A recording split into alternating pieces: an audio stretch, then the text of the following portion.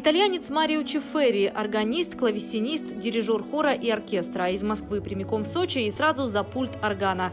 В качестве органиста активно выступает по всей Европе, получает приглашения на престижные международные фестивали и выступает в самых знаменитых соборах и концертных залах. Не отказался от участия в Сочинском международном фестивале органной музыки. Я очень рад быть здесь. Сочи – прекрасный город, в котором проводят такой удивительный фестиваль органной музыки. И еще мне очень приятно играть на одной сцене с сочинским оркестром. Пятничный концерт в Сочи пройдет в сопровождении Сочинского симфонического оркестра.